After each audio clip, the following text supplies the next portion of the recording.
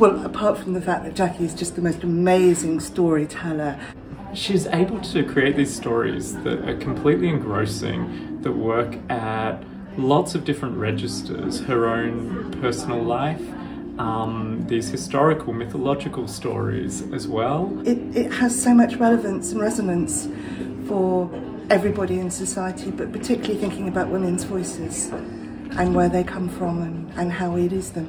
And speaking to women, I think, in terms of having enough and needing their voices to be heard and not to be um, appeasing and accommodating, but taking their seat and stepping into their power. And so it just is a really important reminder of that.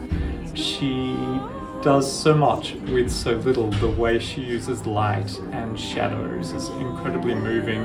And the shadow puppetry is incredible, and, and the way she uses that in such a beautiful, skillful, delicate way, and her voice, and the way she moves, and the whole thing, the different ingredients comes together. It's really powerful show, and I can't recommend it enough.